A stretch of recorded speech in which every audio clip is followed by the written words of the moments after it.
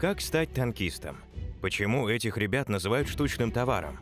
И существуют ли реальные способы разрешения противоречий между уровнем сложности танка и качеством подготовки специалистов? Узнаете из сегодняшнего выпуска. Смотрите внимательно. Сколько бы мы ни рассказывали про различные рода войск, разделяя их между собой по степени элитарности, мы не перестаем считать эту градацию бессмысленной. Ведь каждый из нас играет свою незаменимую роль на поле боя.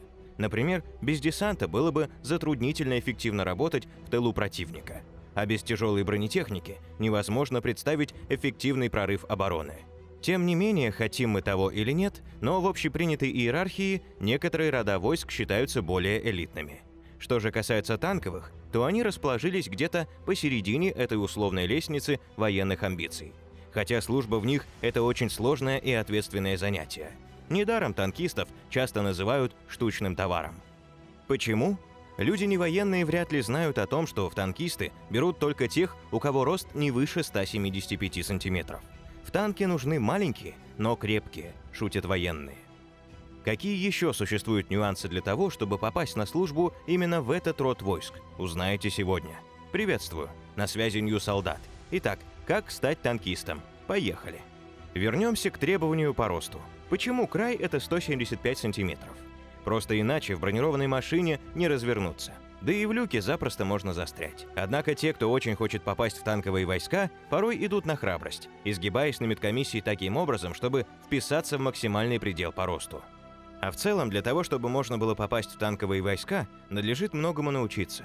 Все зависит еще и от того, что вы хотите в этих самых войсках делать, ведь в танке ездит не один человек, а несколько – командир танка, наводчик орудия, механик-водитель, радист-пулеметчик, пулеметчики, заряжающие и так далее, в зависимости от модели танка. Например, экипаж КВ-2 составлял 6 человек. Так кем вы хотите быть в танковых войсках? Выбирайте. Командир танка руководит действиями танкового экипажа при ведении им боевых действий в ходе учебно-боевой деятельности и технического обслуживания материальной части. Он подчиняется командиру танкового взвода и является непосредственным начальником для членов экипажа танка. Должности командиров танков комплектуются военнослужащими после обучения в учебной воинской части. Штатная должность в Вооруженных силах России – командир отделения в танковом взводе. Штатское воинское звание – сержант. Наводчик орудия танка является заместителем командира танка. При выполнении боевой задачи экипажем танка наводчик ведет огонь из танковой пушки и пулемета по целям, указанным командиром танка или обнаруженным самостоятельно. Особенностью деятельности специалиста является точное наведение орудия в цель и производство выстрела. Штатная должность в Вооруженных силах России – наводчик-оператор. Штатное воинское звание – ефрейтор. Механик-водитель подчиняется командиру танка и несет непосредственную ответственность за техническое состояние ходовой материальной части танка. Механик-водитель танка должен хорошо водить танк в любых условиях – в колонне, в боевых порядках подразделения, умело преодолевать препятствия и заграждения, труднодоступные участки местности, выбирать наиболее оптимальные режимы и маршруты движения. Он также должен вести наблюдение за полем боя – появляющимися целями, докладывать о них командиру танка, обеспечивать наводчику орудия наилучшие условия для стрельбы. Деятельность механика-водителя непосредственно связана с обеспечением постоянной готовности танка к выполнению боевой задачи. Он отвечает за эффективное использование вверенной ему техники, экономное расходование топлива, смазочных материалов, поддерживает двигатель, вспомогательные механизмы, электрооборудование, гидросистемы и другое в исправном состоянии. Штатная должность в Вооруженных силах России – механик-водитель. Штатное воинское звание – рядовой. Заряжающий танка входит в состав экипажа танка, подчиняется командиру танка. Вместе с наводчиком участвует в подготовке орудия к бою. Он также следит за готовностью средств связи и выполняет обязанности наблюдателя в указанном командиром секторе обзора. Заряжающий танка должен знать обязанности наводчика орудия танка и при необходимости заменять его. Кроме того, он обязан помогать механику-водителю заправлять танк горючим и водой, а также знать зенитную пулеметную установку танка, правила стрельбы из нее и уметь вести огонь по воздушным целям. Штатная должность в Вооруженных силах России – заряжающий. Штатное воинское звание – рядовой. Итак, либо вы будете водителем танка, либо же будете стрелять из танковой пушки. Но в том и другом случае вам нужно иметь хорошее здоровье, одним из параметров которого является острое зрение – потому что если вы будете стрелять, то вам надо уметь целиться. А чтобы целиться хорошо, надо иметь хороший угол зрения. Кстати, артиллеристы должны знать математику. Ведь из танка стреляют не просто так, а с расчетом на определенные линии, по которым ведется обстрел. Без точного знания системы координат вряд ли можно чего-то добиться. Нет, конечно, можно палить куда ни попадя, но это несерьезно, как вы понимаете. Если будете водителем, вам придется пройти курс обучения вождения танков. Там управление может отличаться от обычного автомобиля, поскольку машина не просто военная, она требует к себе более внимательного отношения. Сейчас танки более маневренные, чем это было сто лет назад, когда эти танки появились. И тем не менее, эта машина довольно тяжелая и громоздкая. Итак, друзья, кем именно в танковых войсках вы бы хотели быть и почему? Оставляйте свои комментарии под видео. Ну а мы продолжим по порядку. Как попасть в танковые войска? Прежде всего, нужно понимать, что ограничения на службе в большинстве своем связаны с физическими параметрами, которые должны вписываться в танк. Нужно также быть морально готовым к трудностям. Требуется физическая подготовка. Нужно настроиться на то, что придется носить тяжести. Индивидуальные физические параметры. Для призывников есть общие требования – Например, отсутствие серьезных заболеваний и инвалидности, а также недугов, которые могут мешать прохождению службы. Физические нормативы. Рост от 150 до 175 см. Отклонение зрения не более 0,5. Служить по контракту не могут люди с пародонтитом и пародонтозом. Также опасен сифилис и туберкулез. Кандидатам с избыточным весом дают время для приведения себя в форму. Психотесты. Танковые войска должны в любой момент вступить в бой – Солдаты отличаются быстротой ума, имеют железную выдержку и крепкую психику. Прохождение психиатра – обязательный пункт при определении категории годности. Особенности несения службы. Условия деятельности для солдат характеризуются с некоторыми особенностями, которые затрудняют работу и неблагоприятно сказываются даже на здоровье. Рабочее место очень маленькое, света недостаточно, перепады температур, большая запыленность, шум, вибрация. В танке множество металлических ограждений и также предметов с выступами. Солдат должен быть предельно внимателен, чтобы не допустить повреждения кожи или ушиба. Служба по призыву. Призыв проводится в установленное время. Родов войск большое количество, но решение принимает медицинская комиссия и военный комиссариат.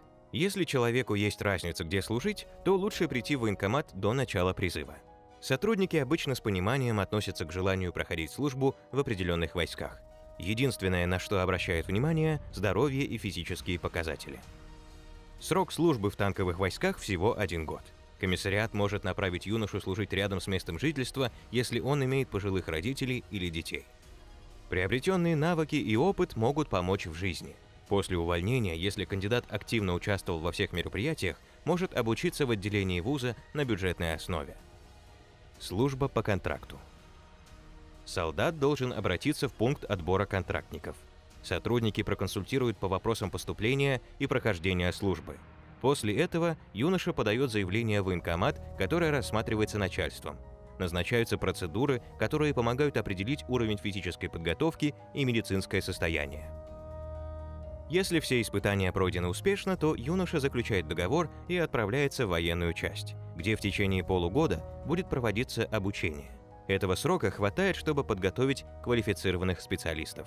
После того, как учения пройдены, мужчина отправляется на службу минимум на три года. Командиры отбираются из наводчиков и механиков, которые уже имеют опыт более полутора лет. Однако начальник должен обладать лидерскими качествами, уметь сплотить команду и совместными усилиями выполнять боевые задачи. Отборы проводятся из бригад и батальонов. Командиры проходят экзамен и возвращаются в подразделение. Отбирают только тех, кто заинтересован в работе. Друзья, а вы служили или служите в танковых войсках? Не пожалели ли вы о своем выборе рода войск? Расскажите в комментариях под видео.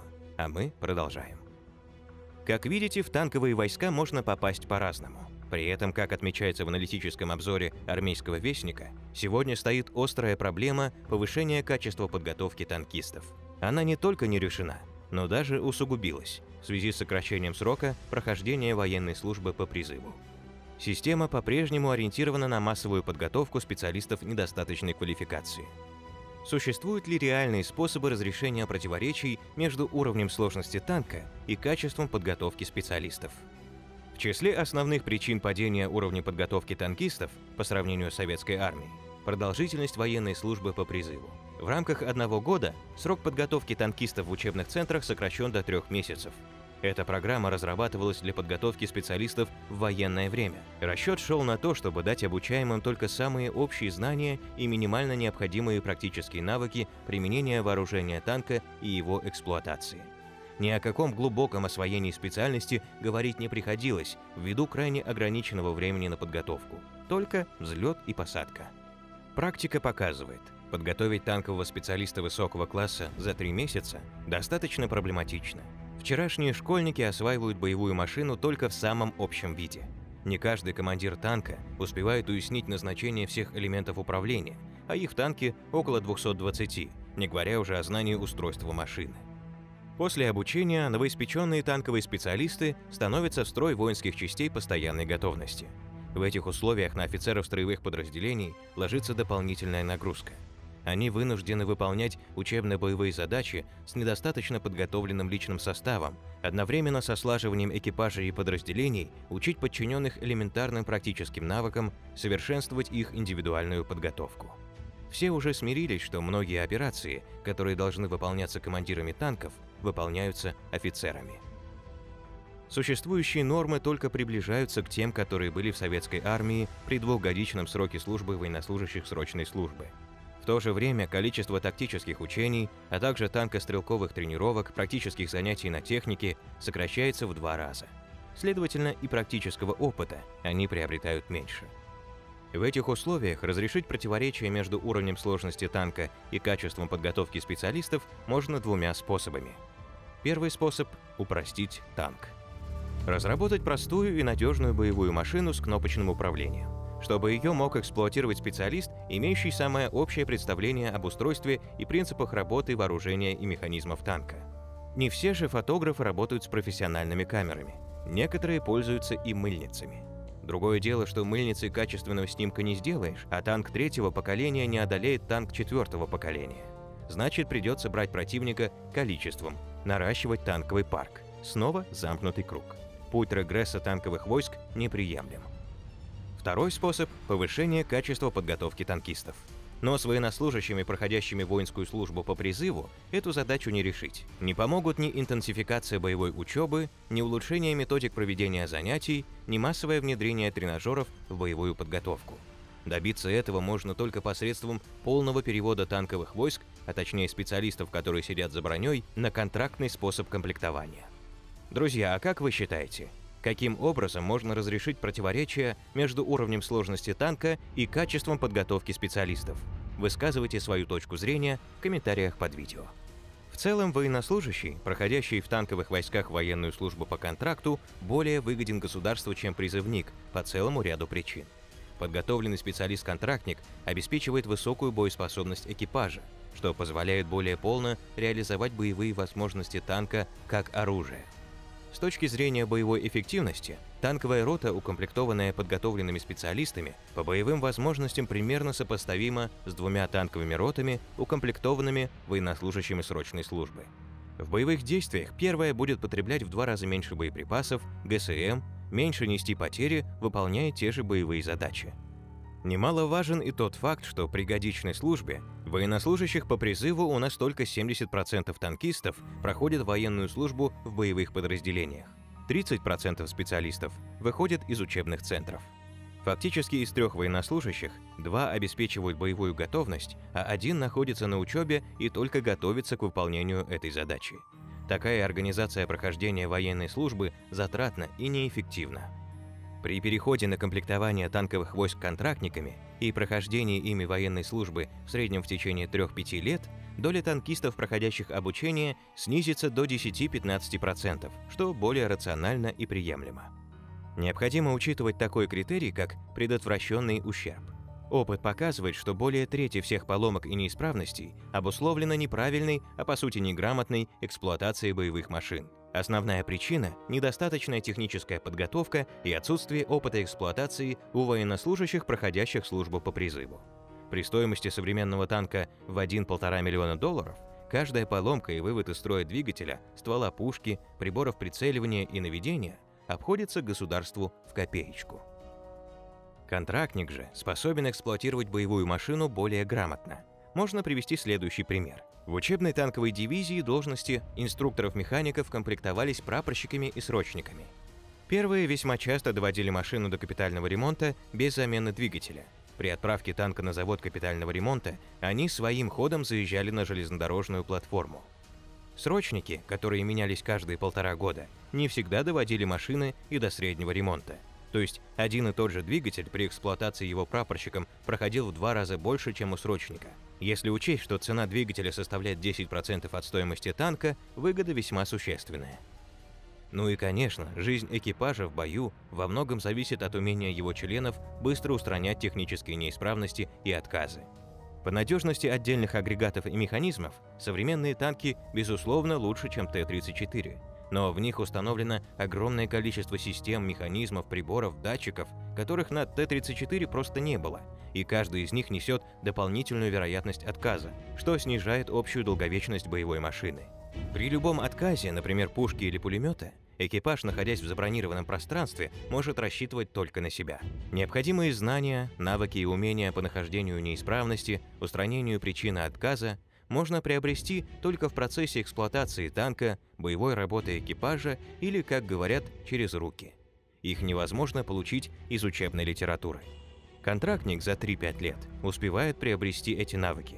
Военнослужащий, проходящий военную службу по призыву в течение одного года – нет.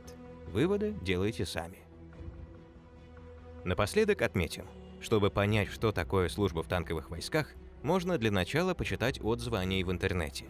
Ребята, которые прошли это испытание, лучше других расскажут, к чему вам нужно себя готовить. Но, как говорилось в фильме ДМБ, нет препятствий патриотам. Поэтому только в путь. Желаем вам успеха. А мы на этом все. Если вы хотите что-то дополнить о танковых войсках, оставляйте свои комментарии под видео. И будьте на связи. Скоро выйдет новый выпуск канала New Солдат. Ждите, мы уже готовим его для вас.